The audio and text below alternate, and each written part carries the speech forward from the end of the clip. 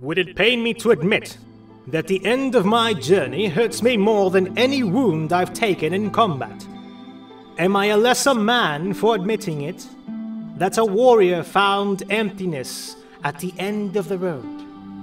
And memories of good times is all that I have left. The memories of hunting prey and those flip ring using backstab happy motherfuckers. In fact, backstabs were the worst part of my journey, probably. Though I would argue boring movesets are probably what anger me most. And that forevermore, within our hearts, the souls will live on. And we will roll forever, like in Dark Souls 3. Why the fuck did they do that?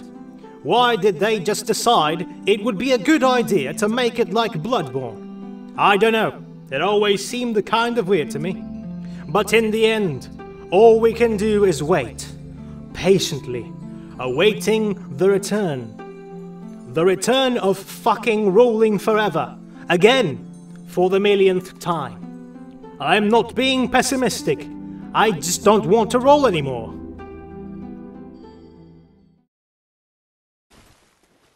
That the entire this entire thing is just me saying that I really want them to just put a different animation because I don't I don't like the rolling. It looks stupid. That's all it is. I'm sure the game's gonna be great, but the rolling looks stupid. That's all I'm saying. Okay, bye.